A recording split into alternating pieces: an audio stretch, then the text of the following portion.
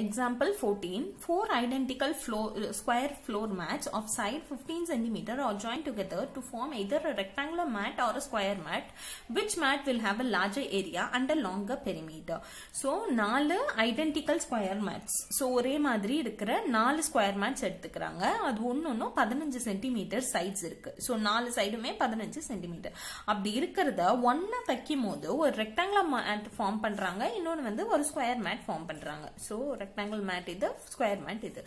ஓகேவா இப்படி இருக்கும் போது எதுக்கு லார்ஜர் ஏரியா இருக்கு எதுக்கு லார்ஜர் பெரிமீட்டர் இருக்குன்னு கேக்குறாங்க. அதுக்கு ரெண்டுத்துக்கும் நம்ம கால்குலேட் பண்ணணும். பெரிமீட்டர் ஆஃப் திஸ் ரெக்டாங்கிள் என்னவா இருக்கும்? ஒன்- ஒரு இந்த சைடு வந்து 15 இது எல்லாம் 15 plus 15 plus 15 plus 15 four fifteen sir எவ்வளோ?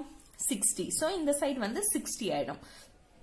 அடுத்தது இதுல பாத்தீங்கன்னா இது ஒரு 15 இது ஒரு 15 அப்போ 30 நாலு சைடும் 30 ஆயிடும். ஓகேவா ம். இப்போ நம்ம பண்ணிடலாமா லென்த் வந்து சிக்ஸ்டி பிரெட் வந்து 15 2 into sixty plus fifteen equals to two into seventy five equals to one fifty centimetre ஓகேவா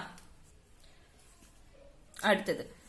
Area of a rectangle rectangle என்ன L into B sixty into fifteen என்ன வரும்?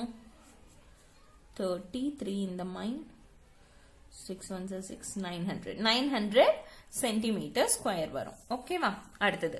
இந்த ஸ்கொயருக்கு கண்டுபிடிக்கலாம். பெனிமீட்டர் ஆஃப் ஸ்கொயர் என்ன? Four into S அதாவது thirty என்ன கிடைக்கும்? Four thirties are one twenty centimetre square area of square என்ன?